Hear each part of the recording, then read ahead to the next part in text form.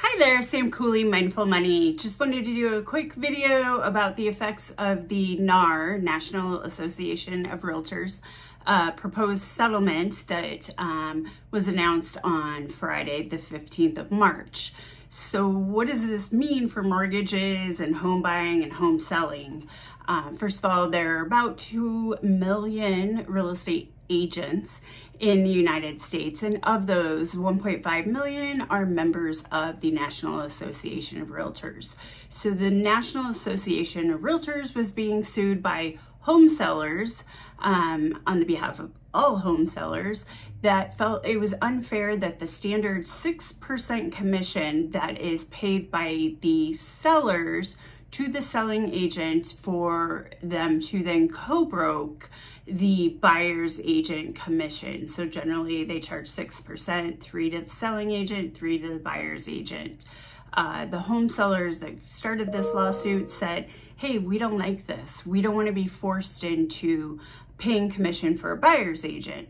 So that's where we are right now. Um, it looks like that the buyer's agent commissions will be negotiable.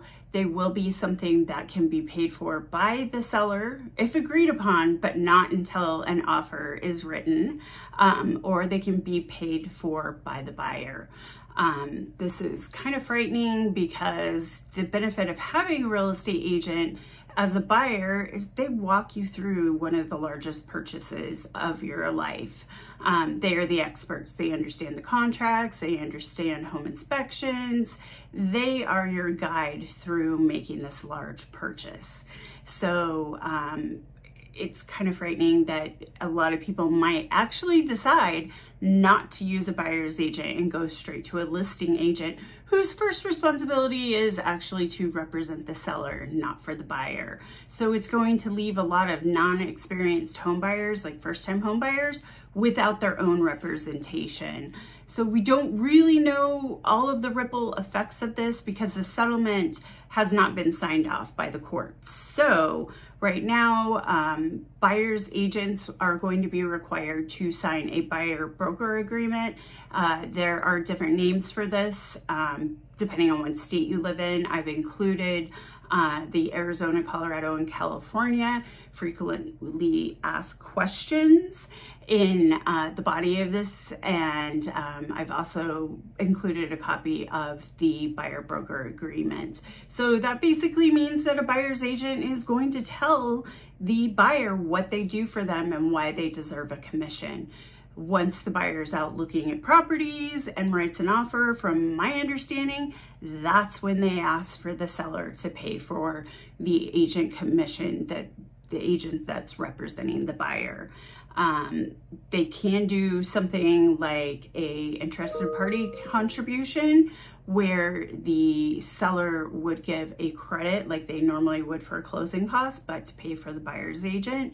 Unfortunately, on VA loans, a buyer cannot pay for real estate commissions. So we're back to if a VA buyer makes an offer on a property, are they going to be discriminated against because the seller is going to have to pay those fees?